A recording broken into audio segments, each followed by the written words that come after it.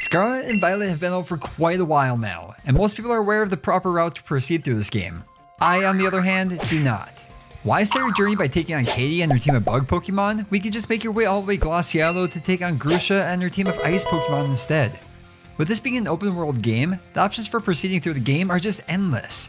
But I'm gonna do something a little bit strange this time around. I'm gonna take on the Paldea region in reverse order, and not only that, I'm gonna do it with only purple Pokemon. Can we actually do this though? Let's find out. To start, we customize our character by giving him a fitting name before heading out into the world of Pokemon. Why does Pokemon make our moms so hot nowadays? Like, keep your eyes off her, man. She's mine. Well, she's she's my mom.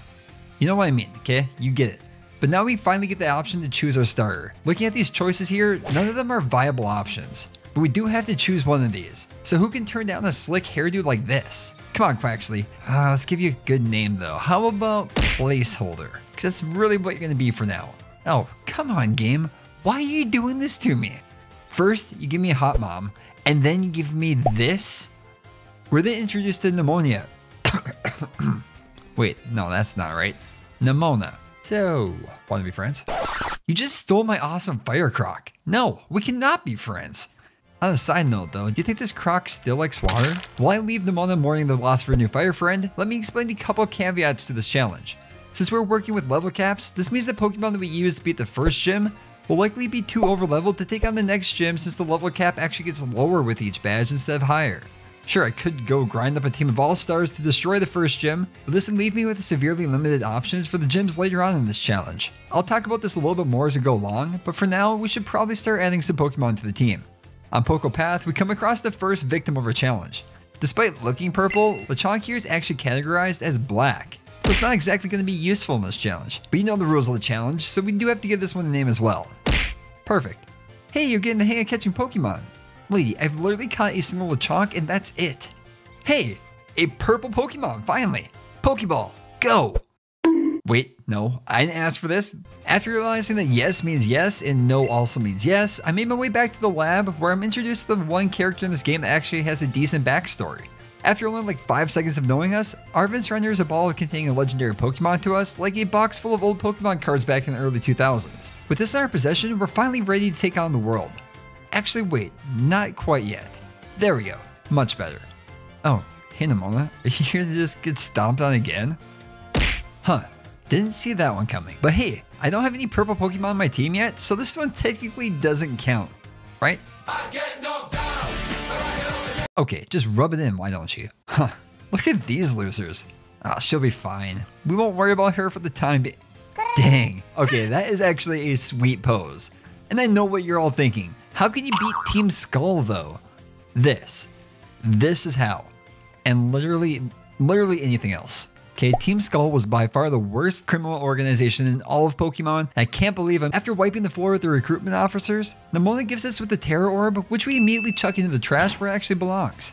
What do we look like? A bunch of cheaters? And then we're finally introduced to this fantastic display of graphics, before obtaining our three major quests for the challenge. Cassiopeia's request to destroy Team Star, Arven's request to find some dank weed, and then our main quest of the challenge, defeating all the gym leaders. What kind of maniac just says yes? Yes. Okay, for the 10th time, I'm not getting into bed with you. Then why did you bring me into my room and just talk about my bed the entire time? I literally followed you into your room and haven't said a single word. Why don't you just go take on the bug gym? What, like a noob? No, we have bigger fish to fry, and I don't mean you. With our team still lacking any purple, we set out to fix that issue by making our way to the West Providence Area 1 to find the first encounter. This is the home of Misdreavus, who I captured named Violet, and I'm pretty sure you can guess what the naming scheme is going to be going forward. Violet has a sassy nature, so minus speed and plus special defense, which I'm not going to lie might be one of the worst natures for this Pokemon.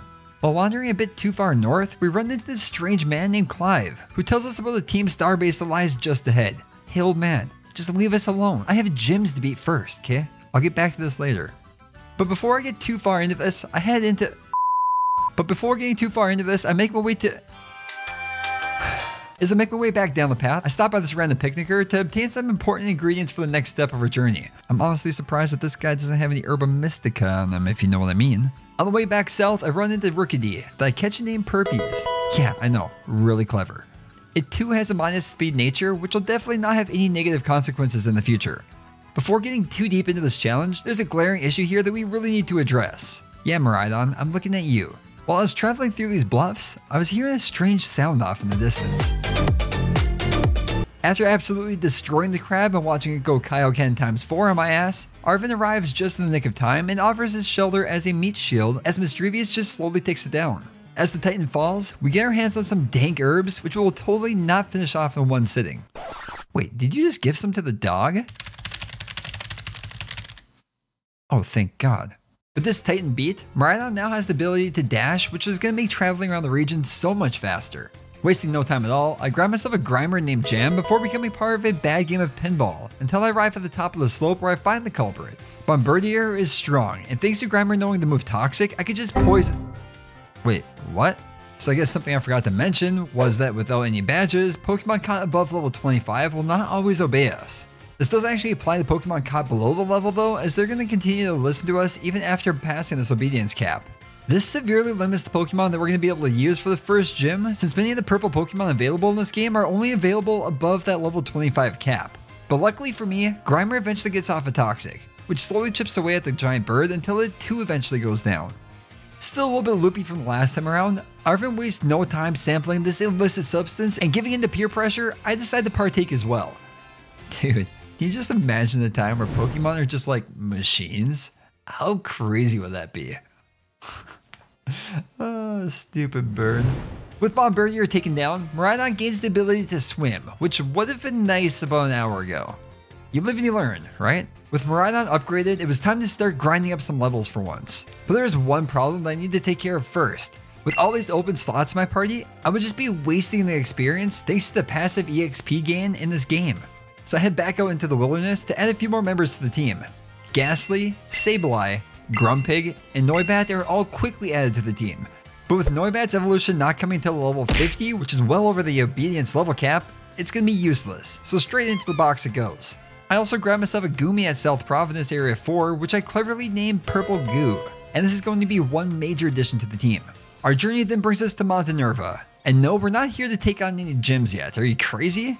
We're here for another reason. Hidden around the map are numerous evolution items, and it is here where I can grab myself a Dusk Stone to evolve Misdreavus into Mismagius.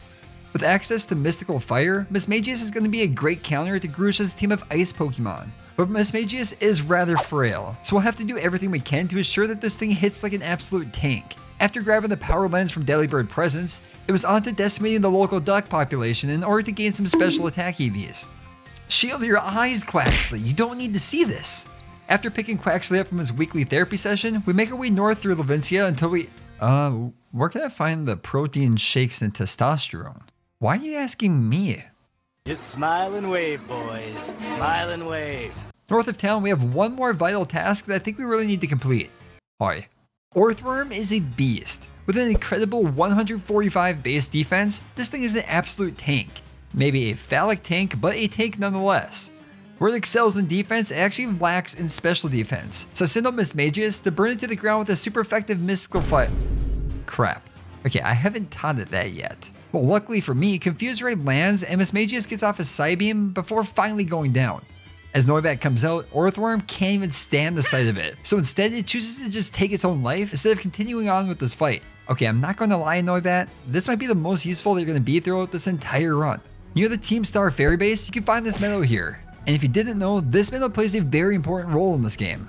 Thanks to having no badges up until this point, we have very limited access to ingredients for making sandwiches. But luckily for me, there's still one recipe that will come in handy even early in the game. The ham sandwich. This simple dish boosts the spawn of normal type Pokemon. And thanks to Chansey and Blissey being the only normal spawns in this area, you can only imagine how often they're going to be popping up here. After two straight hours of listening to this, we were finally approaching the level cap of 48 and we're ready to take on the first gym of the challenge. As we enter the gym, we're greeted by Nemona who gives us a few gifts for this challenge. Super potions. You know my Pokemon are like level 46 now, right? Wait, they're what level? Uh, don't worry about it. Thanks. After getting a new record time in Tiny Toons Olympics downhill skiing, it was time to take on Grusha herself. She leads off with Frosmoth, and I send out Mismagius. Oh, I also forgot to mention that while in Levincia, I stopped by the shop to grab myself a Metronome, which is a held item that boosts the power of an attack by 20% with each successive use. With this attached to Mismagius, Power Gem will become even more deadly as time goes on. Both Frosmoth and Beartic go down the power gem without dealing a single point of damage. Then comes this beast. Cetitan tanks a shot from power gem before dealing a devastating blow with Grusha's signature move, Ice Spinner. One more shot takes it out, but Mismagius is now at low health as Grusha's final Pokemon Altaria comes out. It terastallizes into a mono ice type, which removes its quad weakness to rock, allowing it to survive a massive blow from Power Gem. Just like Hurricane Ian, Altaria destroys Mismagius, and without a backup plan, yeah, this battle was over. You know what they say, okay? Insanity is trying the same thing over and over again, expecting different results. Hi, I'm insane. It, game. With this first badge under our belt, Pokemon caught up to level 25 are now going to obey me, which gives me a few more options going forward. But now that this gym is done, we have to send Mismagius to the box until later on in this run. Luckily, while going through all the training earlier, Rookidee evolved into Corvisquire and finally into Corviknight. Gastly wasn't that far behind as it evolved into Haunter, which will sadly be the final evolution for it in this run since I'm unable to trade it to get Gengar. Well, I found out after the fact that I could have actually just caught a Pinkerton and traded it for Gengar, but that's a different story. After scouring the ruins to find Spiritomb, I head back into the desert, and I avoid drowning this time around to take on the giant threat that's just looming around. Although Iron Treads gave me a lot of trouble in the first run through this game, it went down surprisingly easy thanks to Mismagius' Mystical Fire. No, okay, I'm done sharing my sandwiches with you. Get your own. Okay, fine. Who could turn down a face like that? I'm sorry, bud. One like equals one sandwich for Miraidon. Feeling unstoppable, I head straight to Casseroya Lake to take on the next Titan the false dragon titan, Dondozo. And let me tell you, I got wrecked. I might just have to come back to this one a little bit later on. Before leaving the area, I make sure to grab a Swalot named These Nuts, cause who can pass up on that opportunity? Before heading south to take on the next gym of our journey. Tulip specializes in psychic Pokemon, but thanks to any Pokemon over level 25 not obeying me, we have very limited options going to this battle, but I was still able to come up with a plan. After grinding Corviknight's attack and special defense EVs to the max, I stopped by Delibird Presents to grab another important item for this challenge leftovers. This is a strategy that I've used in multiple challenge runs so far, which I term the protect and eat strat. You might be asking, what's that? Well, let's just see it in action. Tulip leads with Farigiraf, and I send out Corviknight. Looking at its moveset, this is the combination that I came up with. Hone Claws will boost its attack and accuracy by one stage each, which will pair nicely with Power Trip, a 20 base power attacking move that gains 20 more power for every stat stage increase on the Pokemon. Pair this with using Protect every other turn to allow for leftovers recovery, and next thing you know, Corviknight has a 260 power super effective attack with plenty of health to spare. There is another problem though. Corviknight, with its minus speed nature, is extremely slow. To account for this, I continue to use Protect on turn 1 to recover some health before taking the opponent out. Both Espartha and Gardevoir land some big hits before going down, leaving us at low health as Florges comes out and terastallizes into a Psychic type. Protect allows for a little bit more passive recovery, but then Florges goes for Moonblast. Oh, thank God. With one more blow, Florges goes down, and we've earned the second gym badge of our journey. And now you might be asking again, Foss, why didn't you just bring Corviknight up to level 45 before taking that gym on? Well, this is why. Montenevera is the location of the next gym, which happens to have ghost types. And what do you know? Ghost types are also weak to dark. Therefore allowing me to resort to my same strategy this time around. Ryme's gym actually consists of double battles, which means, hi, holy shit lady, don't scare me like that. Ha, cut you off guard. Now let's battle. After witnessing another massacre at the hands of Ryme this time, it was time to take her on. I'm not gonna lie, besides Corviknight, the remainder of the team is pretty much there just as cannon fodder. After boosting my attack and accuracy along with some random boosts from the crowd as well, Power Trip had more than enough power to take out each and every one of Ryme's Pokemon with a single shot each to earn us one of the easiest badges yet. The problem with using a team of only purple Pokemon is that many of these Pokemon just have the same typings, and we all know that the key to a solid team is variety. So there's one Pokemon that I'm hoping to get my hands on that's going to help with those lower level gyms in this challenge. In South Providence Area 4, you can find Toxel, a poison electric Pokemon which could be a super valuable addition to the team. But the problem is finding one that's at a low enough level to take on the second to the last gym of this challenge, which has a level cap of 17. After a bit of searching, I figured I could just boost my odds to the use of a new mechanic added to these games. Recipe boosts. After running to a local store to enjoy a little snack, I was finally ready to find this little... Are you kidding me? Are you kidding me? Dude! No way! It's a purple shiny. Oh my god. Can we catch this thing? Gotta save it first. Let's go. That's all I need. Thank you. On a side note, 500 likes and I trade this to a random stranger. Why do I wish this upon myself? Oh, and I also caught a Toxel. Yay. I also take the time to grab an Eevee while I'm here, which isn't purple at the moment, but it will be soon enough. It has an impish nature, which is probably one of the worst natures for it, but it does have the adaptability ability. That's a weird one to say, which is actually quite clutch. I also came across one of the new additions to the Pokédex, Charcadet, which despite being really cool looking, is rather useless at this time. So it's just gonna spend its time on the sidelines for now. With the normal gym up next, and after getting a little taste of purple shiny Pokemon, I was determined to catch one more. I began dabbling in the art of sandwich making yet again in the hopes to find myself a shiny Makuhita, but after hours of searching, I came up empty. Brokenhearted, I made my way back to. Oh, the Sinistea. That'll work. But before Sinisteas can be of any use, we're gonna have to evolve it first. To do so, we're gonna need to find a specific item. After stealing this man's wallet to feed my addiction for dank weed, we finally acquired the option to participate in auctions. After selling nearly everything I own, I dropped way too much money on a chipped pot. This will be all worth it though, because thanks to this item, Sinistea can evolve into. Wait, what? You have to be kidding me. After wasting way too much time and some of my sanity, I head north of Casseroya Lake where I come across the actual item needed for the situation the cracked pot. With this, Sinistea evolves into Polteageist, and it was now time to take on Larry and his team of normal Pokemon. After choosing the dish of a Master Chef, wait, where'd they go? Did you just crush them? Larry leads with Komala, and I send out Polteageist. Looking at Komala's moveset, it doesn't have any attacking moves that can actually land, which gives me plenty of time to set up Calm Minds to max out our special attack. It does bore us to sleep a time or two, but Sinistea eventually wakes up to drop it with a single Giga Drain. The story is much the same for the Dunsparce and Staraptor that were out next, earning us yet another easy badge thanks to our high IQ plays. That was the true reason why I wanted an electric type Pokemon on my team. But before I get into that, I swing by the beach to grab myself a Pincurchin, which, by the way, how is this thing purple but Lechonk is not? Okay, riddle me that. I then head back to Los Platos, where I destroy so many Psyduck that I actually resort to fighting just parts of them instead. After all this grinding, Mareep evolves into Flaaffy, and then eventually into Ampharos at level 30. Thanks to the 30 plus Psyduck and Fletchling that we took out, Glitter's EVs are now maxed in special attack and speed, which should give us a big advantage going forward. In addition to that, I also gave Ampharos the Metronome to boost its attack with each subsequent use. And honestly, this is probably just overkill. Kofu's team of water Pokemon get absolutely destroyed by a stab boosted, super effective Thunderbolt, which drops each of his Pokemon with just a single shot each. Your team is absolutely pathetic. I can't even imagine losing a battle that bad. Hey, let's have another battle. It'll be fun. I'm gonna have to go with no. You knew about this, didn't you? Thankfully, this is another battle that we don't actually have to win. So despite this absolute beatdown, we're moving on. Wait, what's that sound?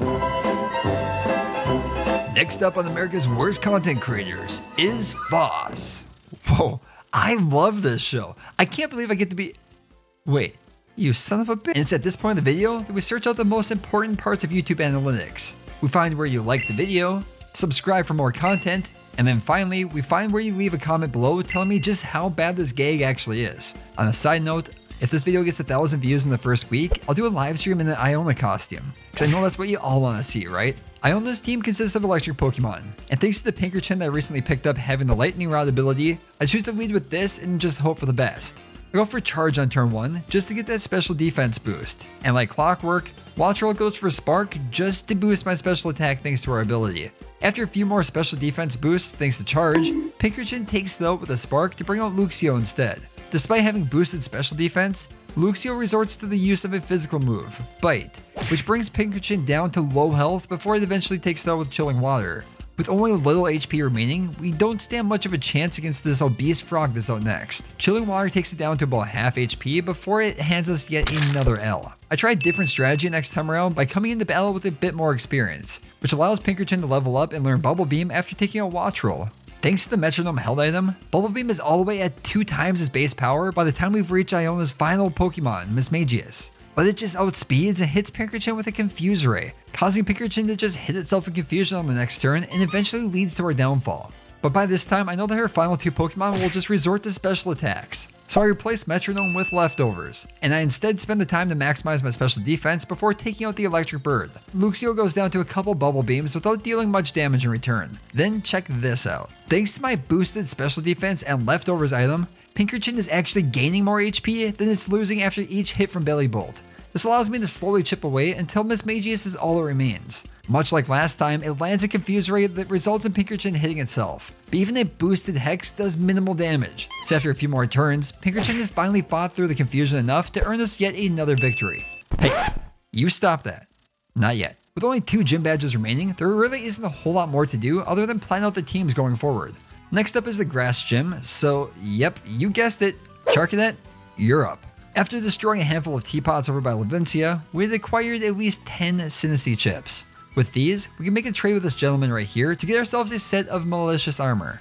Giving this to the Charcadet causes it to evolve into my favorite Pokemon of Generation 9, Ceruledge. And with this Pokemon on my team, nothing can stand in my way. Okay, now nothing can stand in my way. Thank God these Lamola fights are not necessary wins. But before we can take on the next gym, we have to take part in its gym test, known as the Sunflora, Hide Your Frame Rate, and Seek. After making it through the slideshow known as Arzon, it was time to take on Brassius, and all I can say is this. Heat Wave. Thanks to this move, Brassius' team goes down easily to earn us the second to the last gym badge of the journey. Now that it's daytime, it's finally time to evolve Eevee into Espeon to take on the final gym of the challenge. Who would have guessed though that the real challenge here would be rolling an olive into a net? Honestly, this is why I don't play Rocket League. I'm pretty sure that if there's a practice mode in this game, and I'm not sure if there is or not, I would probably just lose it by scoring on myself. Despite Espeon being weak to bug, also has the super effective confusion in its arsenal, which makes quick work of Katy's Nymble on turn 1. Tarantula is able to withstand the shot, but only gets off a bug bite for decent damage before the power of telekinesis brings it to its knees. Last up is Teddiursa, who Katy terastallizes into a bug type, and this could actually be quite dangerous if Fury Cutter actually lands. But instead, Confusion confuses the bug type, which then hits itself in Confusion before one last Confusion takes it down. Wow, that was confusing. With all of the gym badges out of the way, we have a long way to go before our team's ready to take on the Elite Four. I head back up north to take on many more Chansey, and during the process, Goomy evolves into Sliggoo, but now we're stuck waiting for some rain before we can actually evolve it into Goodra. After about another hour or so of grinding levels, there was still no rain, so I decided to just move on in the meantime. Upon arrival at Casseroya Lake, I figured I would take on the false Dragon Titan yet again. This time things go much better as Spiritomb gets off a curse on turn 1, and Swalot manages to poison it soon after. After taking out Dondozo a couple times, we're actually introduced to the real and most frightening Titan of them all. After turning this fish into sushi, we've unlocked the final climbing ability from Rhydon, who's nearly back at its full strength. From there, it was back to looking for more rain. I traveled to the northeast, the southwest, the northwest, and I even tried looking in the desert, but no rain. I literally spent 6 of my 27 in-game hours just looking for rain. I give up. I can't do it anymore. I'm just gonna take on the Elite Four and just hope for the best. Anyone that has played these games is likely familiar with how this goes. The first task is completing an entrance exam put on by Rika herself. Right out of the gates, she comes out with one of the most difficult questions of them all. Which type was your starter? Are you kidding me? This was literally over 26 hours ago and I used it for like maybe 10 minutes. But then I remembered, who could forget those fiery hot cheeks and that fancy sombrero? Wait, oh, yeah, that's right, I chose the duck. Nailed it. Rika specializes in ground types, so I lead off with Sliggoo, who should have been Goodra by now, but so be it. Whiscash manages to land the Blizzard for some decent damage, but Sliggoo is able to take it out thanks to the power of Ice Beam. So long as we don't miss any attacks going forward, there should be a pretty good chance that we actually... I hate this game. With Sliggoo gone, I send out Mismagius instead, which thanks to its levitate ability is immune to Earthquake. But you know what it's not immune to? Rocks. As Mismagius goes down, I begin to panic and send out Espeon instead, who thankfully just drops Donphan with a single Psychic. Thanks to his high base special attack and defense, Dugtrio and Camera Camerupt go down easily without dealing much damage in return. Then comes Rika's final Pokemon, the one Pokemon that all men fear. Thankfully, despite Espeon going down, I still have Corviknight remaining, and thanks to his flying typing, it cannot be hit by ground moves. A couple drill pecks takes out the ball of mud to earn us the first victory of the Elite Four. Child's Play with Poppy is up next, and her team revolves around steel types. This is where my boy Ceruledge comes out to play. After getting off two straight swords dances, Purple Cloak's signature move, Bitter Blade, has more than enough power to drop Copperajah, Bronzong, Corviknight, Magnezo- Magnezone, and Tinkaton with a single shot each. Up next is Larry, who, like Koga in Generation 2, says screw my original team as he ditches all of his normal type Pokemon for the flying types instead.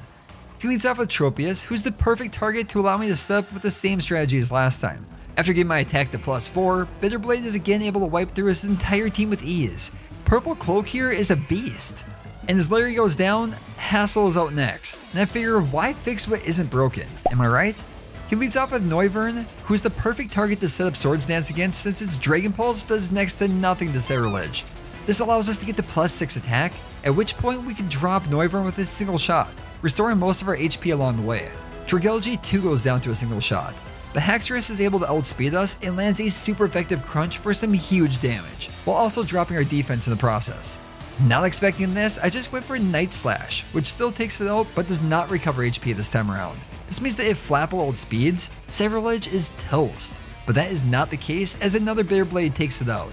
All that remains now is Baxcalibur, and as long as I can outspeed, I should be able to easily... Oh boy. Okay, I'm not gonna lie, I was a little bit unprepared for this. I didn't know what to do next, so I just send out Glitter, hoping that Static can activate just in case. But instead, it just drops the Ice Dragon with a single Dazzling Gleam to earn us the final victory of the Four. Nice. With all these fools out of the way, there is only one last battle remaining before we can truly call ourselves a champ. It's time to take on Geeta. I even arrived with all my Pokemon still below the level cap of 62, which is even more satisfying in the end. She leads with Espartha, and what do you know? I lead with Ceruledge yet again. I immediately begin the Swords Dance. Well, wait, what's this? Thanks to the Opportunist ability, Espartha too gains a boost to its attack. So after surviving a shot from Night Slash, Lumina Crash lands to deal some devastating damage before one more Night Slash takes it out. Avalugg is out next, but with Bitterblade on my side, this one should be... Are you kidding me? Are you telling me that a giant iceberg is faster than my Flaming Knight? That's Pokemon logic right there.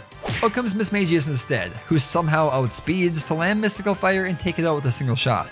Kingambit, probably my second favorite Pokemon of this generation, is out next, and decimates Mismagius with a single blow from his signature move, Cleave. Then comes out Corviknight, who's only able to deal minimal damage with Drill Peck before 2 going down.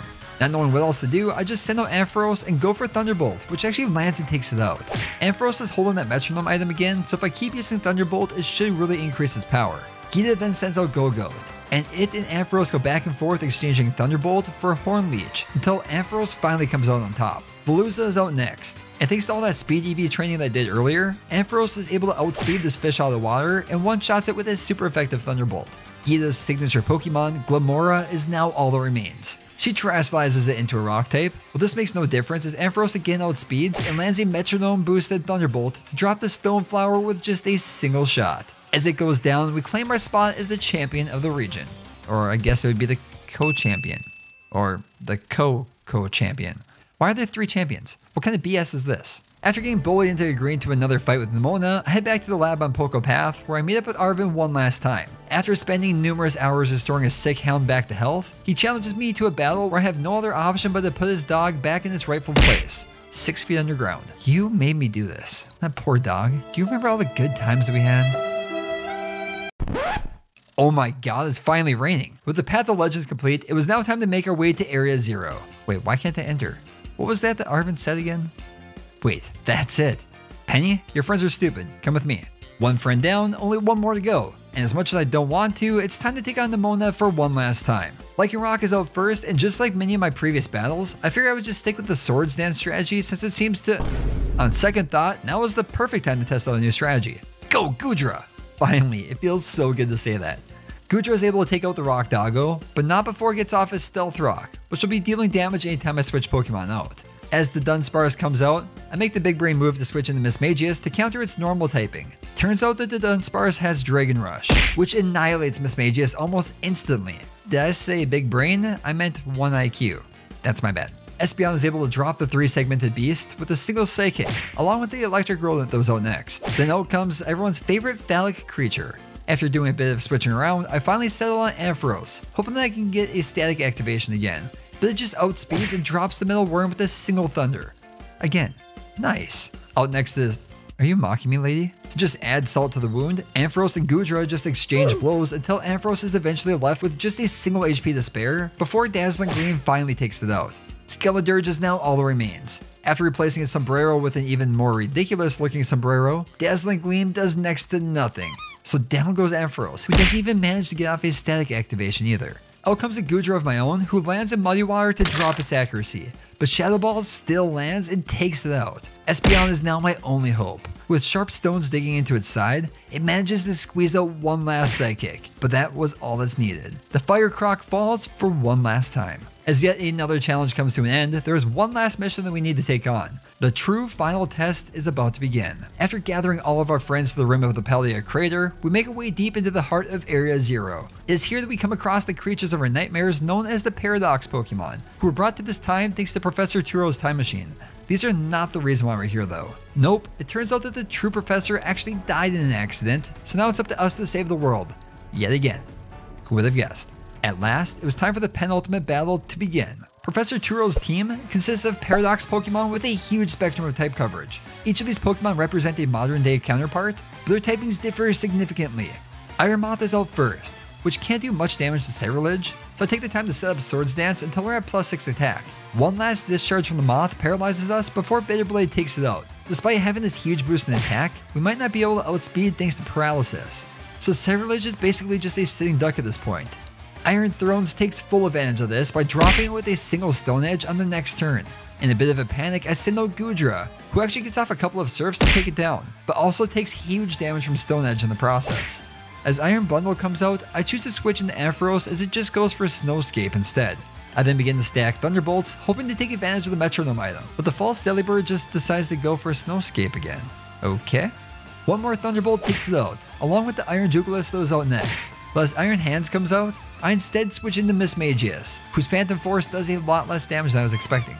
I then send out Espeon, who takes huge damage from Thunder Punch before dropping the Mechanical Massager with a Psychic. This leaves Turo with one last Pokemon remaining. Out comes Iron Valiant, and this booster energy activates. And with that, I knew I was in for a wild ride. Without being able to outspeed, Spirit Break evaporates Espeon. Yeah, this thing is fast. Like, super fast. So I send out Ampharos, hoping that all those speed EVs come in clutch here. But no, it still outspeeds and lands a Spirit Break yet again. But Ampharos holds on with a single HP to spare. Alright Claire, show what you got. Thunder. Oh boy, wait. Glitter, you've done it! With that paralysis, we're now able to outspeed and we're back in the game. Goodra and Mismagius both stood no chance, we have one last ace up our sleeve. Perpius, the reliable partner, the one that's been with me from the beginning, deals the final blow to finally end our misery. You've done it, my old friend. It's over. Or is it? It turns out that the professor had one last trick up his sleeve. Without being able to call upon any Pokemon of my own, we resort to one last purple Pokemon for our journey. After all this time by our side, or I guess underneath us, it was finally Miraidon's time to shine. No matter how many times he got smacked around, and trust me, it was a lot, like a lot, a lot, I still refuse to Terastallize and I'm going to finish this run using my rule set. Finally, after numerous hits and stat buffs, one last Electro Drift finishes it off, setting the professor free and finally putting an end to this journey. That was brutal. Through all the tough fights, strategizing, and grinding, whoever would have thought that finding some freaking rain would be the toughest part of this whole journey? I mean, come on, I literally checked everywhere. That is why this is the worst game ever made. oh, dude. We really need to lay off that Herba Mystica stuff. Well, that's gonna do for today's video. Please smash that subscribe button on your way out and check out more videos on the channel while you're here. But until next time, have a good night and I'll catch you on the next one.